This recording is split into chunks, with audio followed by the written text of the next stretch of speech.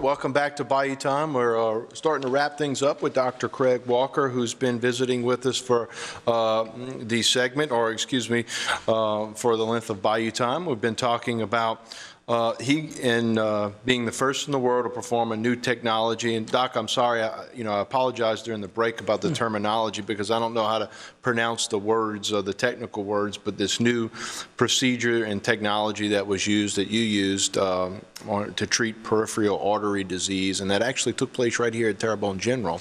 Uh, But, but specifically, just if we can run again, you know, the name of the procedure and the type again. Yeah, it's called the Turbo Power laser device, and, and the whole concept is that it allows us to clean out, in particular, uh, stents that have been uh, occluded over time. We think this is a big step forward in the ability to treat patients who develop blockages within stents. And we've also talked about the importance to, to get routine checks and then the preventive things you can do uh, to help, you know, prevent cardio disease and peripheral disease. But uh, one thing I guess we can kind of wrap up in is, is the links between cardio disease and peripheral disease. Sure. Um, most of the disease that we experience is atherosclerotic disease. It starts off as some injury inside of an artery, and that injury can be from um, from cholesterol. That injury can be from high blood pressure, from smoking, from any of these things, or from diabetes. And we start to build up a, a blockage within an artery that ultimately chokes off blood supply. The more of those risk factors we have, the more apt we are to develop a problem. And that ultimately manifests itself in either blocked arteries or aneurysmal arteries, where they get bigger and weak because of that, where the walls get weak. Either of those are typically manifestations of atherosclerosis.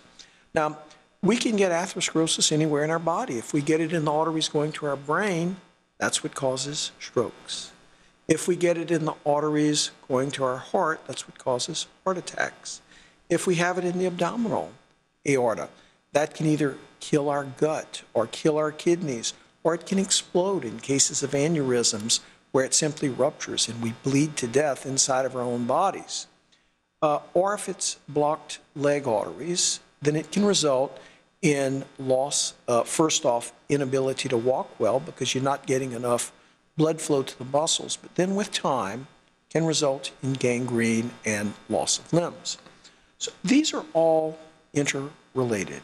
If someone has peripheral vascular disease, the chances of them having uh, disease elsewhere is overwhelmingly high. It's not 100%, but it's very high.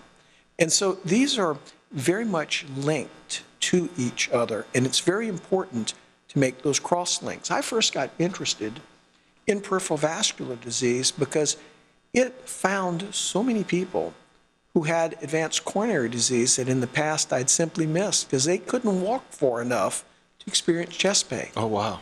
And so they, they had no clue that they had They weren't exerting themselves. because they couldn't. Yeah. They were they were uh, uh, un- unable to really push themselves. So that was an interest for me at first. But then later on, I really got truly interested in the leg circulation itself.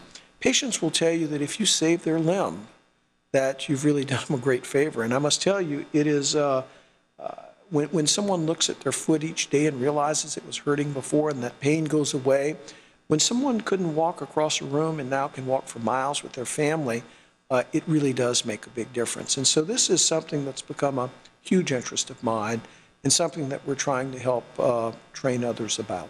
Well, and I guess in addition to, to helping their physical health, it, it would help them mentally as well, and which would lead to better overall health. Certainly.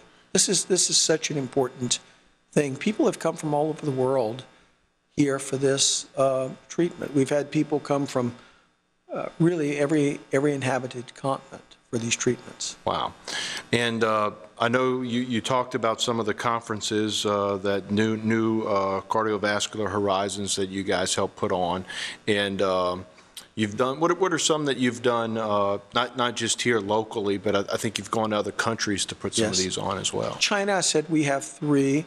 We have um, one in Latin America, and then, of course, we speak at meetings around the world. We have many meetings. I was recently at, in China. In fact, at both the Great Wall meeting and the CEC meeting, we didn't put those on, but we were there. I'm going to be at the LINC meeting later on this year in Germany. Uh, So so we speak at meetings around the world that are not just those that we put on, but those that others put on. Uh, It's a big effort to try to get the message out that we can do a better job here, and certainly we all have the responsibility to train others how to better treat this. And with, with the new uh, procedure that was just performed, uh, again, that was done at, at Terrebonne General? Yes, it was. Um, And um, is, is is that a procedure that you need uh, staff to help you perform, uh, or is it, is it something that's not overly involved with? Well, I I wouldn't call it an overly involved procedure. It's something very similar to what we've been doing for a long time, but we clearly need the help that we have. We have a wonderful team that has been put together um, here in the cath lab. I I think we have one of the greatest teams I've personally seen, and I travel cath labs around the world. We have really a a super team, and our success is is not the success of any individual doctor. It's the fact that we have many very, very talented people working with us to help us achieve these results. Excellent. And, uh, you know, if anyone's out there, they're watching and they're going, you know what? Okay, it's time to get checked. I've been having this issue. You know, what should they do?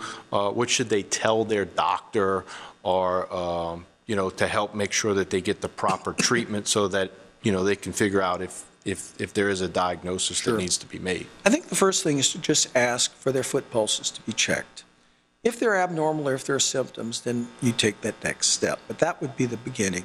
And certainly anybody at, at bigger risk, diabetics and smokers in particular. All right, Dr. Walker, we appreciate you being here, and again, congratulations, and we thank you for continuing uh, to be innovative, to make sure that, you know, not only CIS can continue to to flourish, but ultimately translate to us having better health care. So we thank you and your staff for that. Thank you. With that, we're going to take a short break. Um, We still have more to come right here on Bayou Time, and uh, I think Mike Fake is going to be here to do the sports a little later here, so stay with us, we have more right here on Bayou Time.